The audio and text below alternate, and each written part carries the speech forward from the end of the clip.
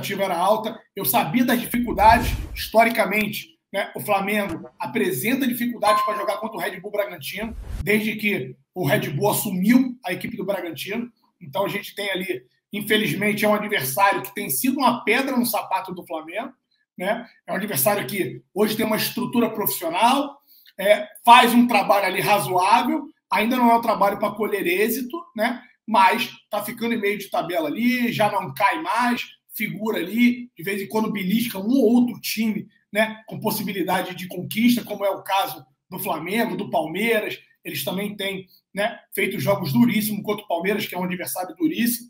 É... E aí ficou até né, redundante, mas é, fazem jogos duros, sim, contra o Palmeiras. É, cada dia mais forte a equipe do Red Bull Bragantino. E, infelizmente, o que eu vi, para a gente iniciar, então, esse não é nenhum tema da live, mas eu acho que é importante para a gente gerar todo esse contexto. O que eu vi foi um descaso muito grande. E aí a gente precisa tentar entender os motivos. O Flamengo veio de 10 dias de treinamento. Porra, Lamar não é novidade. Todas as vezes que a gente fica um tempo parado, o Flamengo volta uma tiriça. O Flamengo volta pior do que parou. Então, vamos atrás. Vamos então voltar um pouquinho mais, rebobinar. Para a galera da antiga aí vai lembrar. Para a galera da antiga vai lembrar, rebobinar a fita. Vamos rebobinar a fita, então? Então vamos pegar a sequência de vitórias que o São Paulo teve. Como foram os jogos? A equipe vinha apresentando um bom futebol? Não. Sejamos honestos a equipe estava conseguindo ter resultados, mas jogar bola, conseguir entregar um bom futebol, que é o que nós esperamos, todos nós torcedores, até mesmo pelo nível do elenco que a gente tem, não vinha acontecendo. Mas as vitórias saíram e foram importantes. Diante do Grêmio, galera, a gente viu um massacre muito próximo ao que a gente sofreu do Bragantino.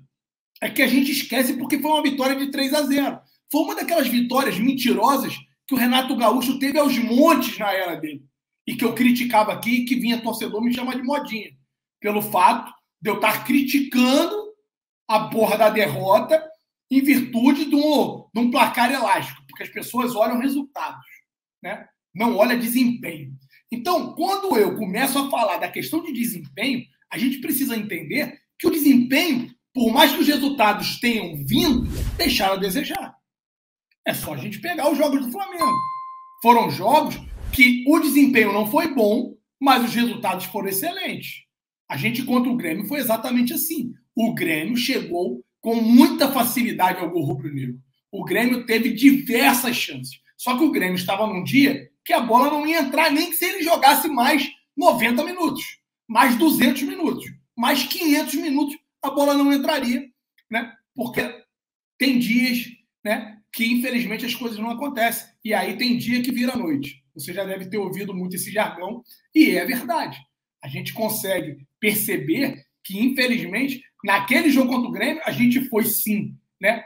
Muito, muito, muito, muito pressionado, e eles não conseguiram ter êxito e a efetividade que o Flamengo teve. E essa efetividade, que aí, todas as vezes que né, o São Paulo fala contundência, contundência, contundência, eu, na leitura que eu tenho, é que a contundência dele gera né, a, a efetividade. Ele, quando fala em contundência, ele está tentando falar que quer um Flamengo mais efetivo né, e não mais agressivo. Mas outros não. Acham que eu estou com a minha interpretação completamente equivocada, que a contundência é a agressividade né, ao adversário. E eu entendo que a contundência que ele se retrata muito ali, durante todas as coletivas, tem a ver com efetividade né, com um percentual maior de acerto. Vamos ao jogo, então, contra o Red Bull Bragantino. A gente teve uma chance contra o Red Bull Bragantino. Uma. Antes mesmo deles conseguirem um gol.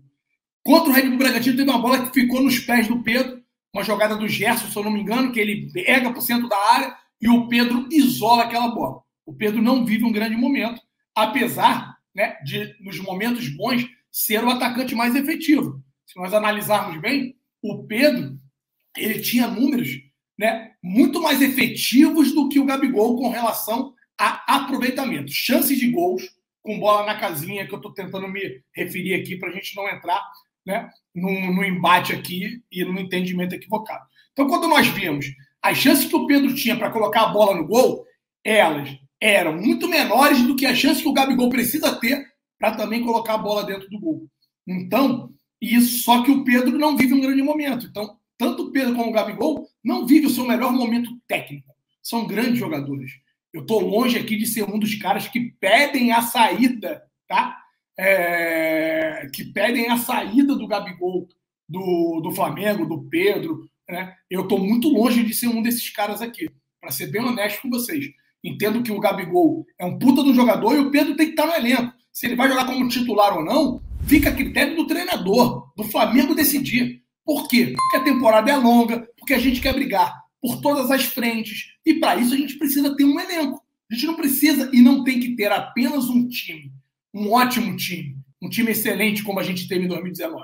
A gente tem que conseguir ter um elenco, um plantel que possibilite, em alguns momentos, você substituir peças e essas peças terem a capacidade de entrar e entregar resultados à altura do que o Flamengo espera. Mas voltando ao jogo contra o Red Bull Bragantino, após aquele, aquela é, chance desperdiçada pelo Pedro de gol, né, fez com que o Bragantino, inclusive, que já estava muito melhor, amassasse ainda mais o Flamengo e chegasse de forma muito fácil ao gol do Flamengo. E assim fez por várias e várias vezes. E estava desperdiçando. O Bragantino não estava conseguindo ser efetivo. Os números da partida assustam. Os números da partida chegam a ser assombrosos quando a gente olha, em virtude de tamanha diferença que teve e tamanho massacre que foi o jogo. Quando a gente olha o placar, que foi né, uma goleada e uma vergonha, né, ele poderia ter sido ainda pior se o Matheus Cunha não tivesse numa noite ali positiva. Se o Matheus Cunha não tivesse conseguido defender bolas difíceis, porque ele assim mesmo conseguiu fazer. E aí, galera, vamos ser honestos uns com os outros aqui. Quando você pega um time do tamanho do Flamengo, esse time precisa e tem, após uma derrota, né, após um vexame, o seu goleiro como principal jogador, tem algo muito errado. Tem algo que, infelizmente, não me faz cheirar bem. Então, aí eu vou ter que falar e colocar na conta do elenco, sim. Da, da displicência dos jogadores. Da forma como os jogadores entraram em campo. Parecia, sendo bem honesto, que os caras passaram a noite toda né, fazendo putaria.